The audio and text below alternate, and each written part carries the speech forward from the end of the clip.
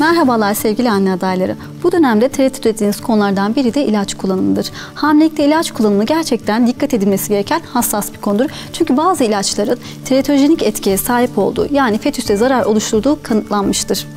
İdeal olan bu süreci hiç ilaç kullanmadan tamamlayabilmektir ama özellikle hamilelik döneminde inatçı diş ağrılarının varlığında ilaçsız tedavi neredeyse mümkün olamamaktadır.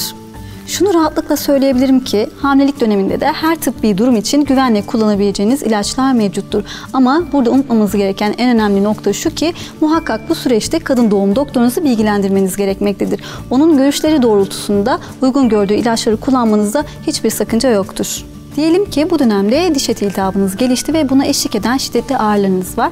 Böyle durumlarda bazı anne adayları bebeğinin zarar görme endişesiyle ilaç içmekten kaçınmaktadırlar. Ama aslında ilaç içmekten kaçınmanıza gerek yok. Çünkü burada önemli olan fayda ve zarar dengesini göz önünde bulundurmaktır. Çünkü ağrılarınızın artması size etkilediği kadar bebeğinizi de strese sokacaktır ve ilerleyen enfeksiyonlar müdahale edilmediği takdirde hamilelikteki erken doğum riskini arttırmaktadır. Burada önemli olan gereksiz ilaç kullanımından kaçınmak ve tıbbi açıdan gerekliyse ilaç kullanmaktır. Bu sebeple muhakkak bir diş hekimi görüşüne de başvurmanız gerekmektedir. Peki hamilelik döneminde hangi ilaçları güvenle kullanabilirsiniz? Özellikle diş tedavilerinde biz diş hekimlerinin ilk tercihi penisilin türevi antibiyotiklerdir. Çünkü bu antibiyotiklerin bebeğinize hiçbir zararı bulunmamaktadır. Bunun dışında eğer penisilin alerjisi olan anne adayları yine sefalosporin türevi antibiyotikleri doktorunun kontrollerinde kullanabilirler. Burada önemli olan bir nokta özellikle hamilelik döneminde tetesin grubu antibiyotikleri tüketmemeniz gereklidir.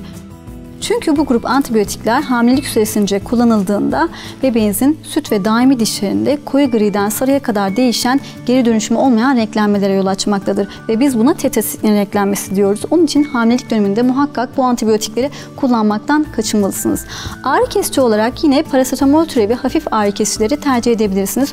Çünkü Antiinflamatuar dediğimiz ağrı kesicilerin içindeki etken maddeler özellikle hamileliğin son aylarında kullanıldığında doğumdan sonra bebeğin solunumunda ve kalbinde istenmeyen etkiler yaratmakta ve bu sebeple doğum sonrası bebeğin gelişimini tehlikeye atmaktadır.